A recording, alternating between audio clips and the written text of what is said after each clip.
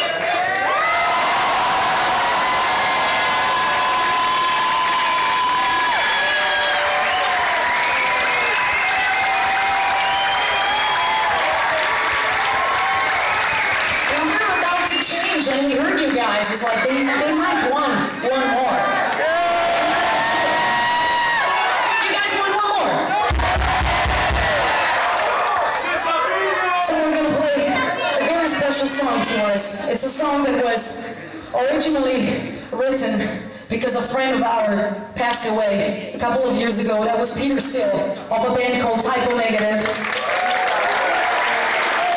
And then we, and then we extended the thought in the song to every person we lost through our life. And I know that it might have happened to you, maybe now, maybe in the past. And we know that we, it will happen because it's a natural thing, but we're absolutely sure that even if they're not here with their bodies, they're right here with their spirit. So thank you, everybody. See you all next time. Have a good night. This is my spirit.